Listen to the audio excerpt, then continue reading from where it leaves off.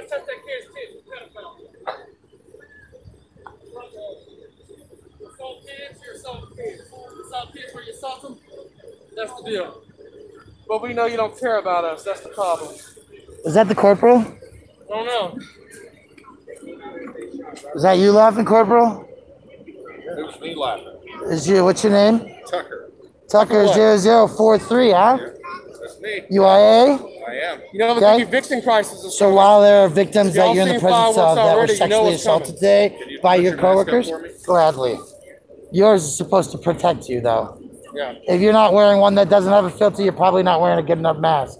Anyway, the point is, is it appropriate to laugh and tell jokes in front of victims while you're on an investigation?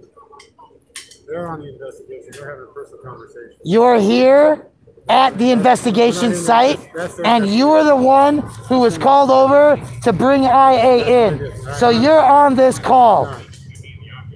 No, no. There are women who are sexually assaulted by your coworkers today. Does that make you feel good?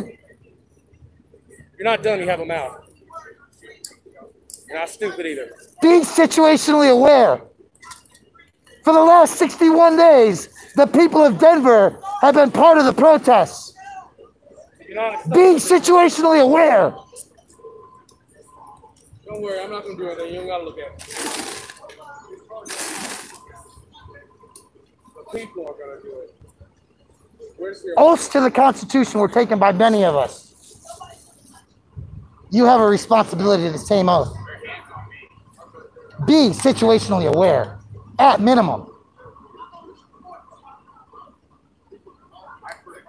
Do you understand? Do you understand, sir? Yeah. That's the question. Yeah.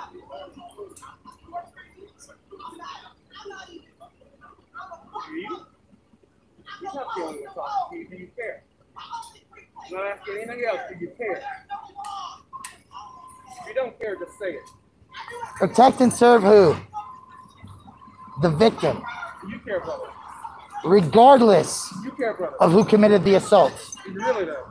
You're physically here because people there. who wear that thing just dishonored it. Be situationally aware. You can all fit together. Lay their hands on me. I don't think any of them Do you get it yet?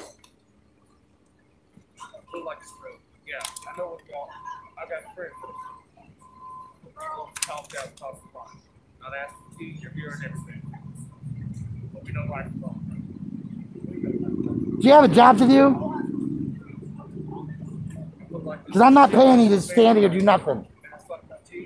Can't tell I'm not engaging in this conversation. That's not why I'm here.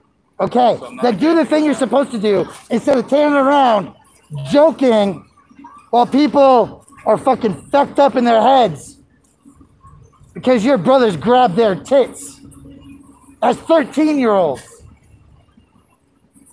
What if one of us grabbed your daughter's tits? sir? So why are you here? Question, brother. If one of us grabbed your daughter's tits, how would it go? You Yeah, exactly. How would that go? You want to fuck us up. No, you don't like that. And rightfully so. That, Oh, you are part of the investigation. And that guy is taking steroids, believe me. Because I'm a big motherfucker.